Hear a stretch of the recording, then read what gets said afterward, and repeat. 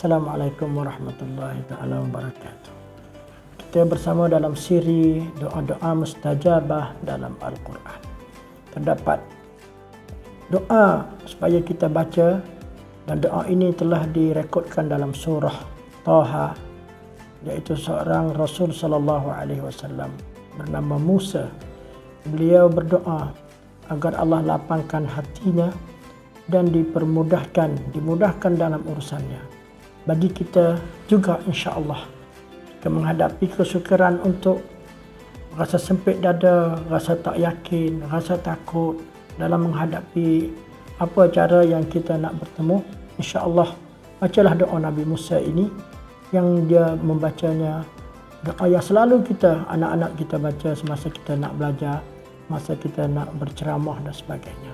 Doanya yang berbunyi auzubillahi minasyaitanirrajim doanya rabbishrah li sadri wa yassir li amri wahlul 'uqdatam min lisani yafqahu qawli. Terdapat beberapa perkara yang kita mohon kepada Allah. Pertamanya wahai Tuhanku supaya lapangkanlah dadaku lapangkanlah untukku dadaku. Maksudnya bukakanlah uh, segala kesulitan yang ada dalam jiwaku.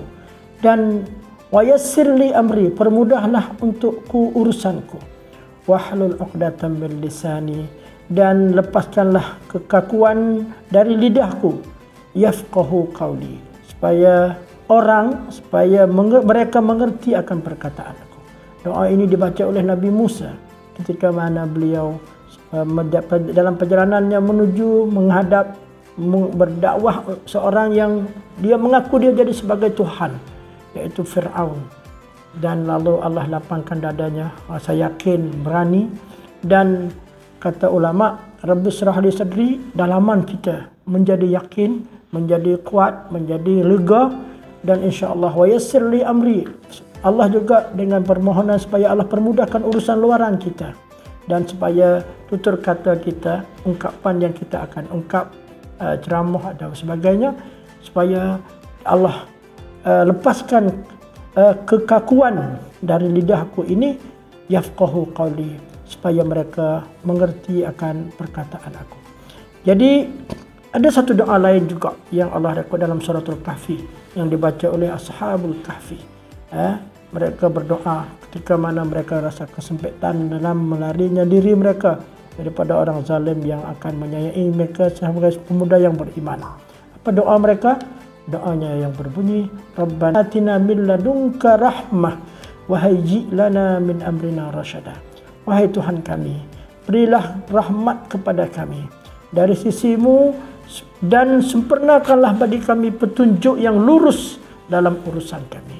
Kita mohon supaya Allah permudahkan urusan kita, luruskan segala langkah kita terutama dalam min amrina rasyada keputusan kita yang kita akan buat uh, tintak tin, tin, apa langkah-langkah yang kita akan ambil dalam kita menghadapi kesukaran ini Allah akan buka pintu ha, dengan jalan yang mudah insyaallah taala marilah kita sama-sama menghayati doa dalam Quran ini dan dengan penuh memahami dan tahu sebab siapa yang baca mula-mula dan bagaimana Allah kurniakan urusan itu dipermudahkan segalanya bagi mereka dan kita juga yang membacanya insya-Allah.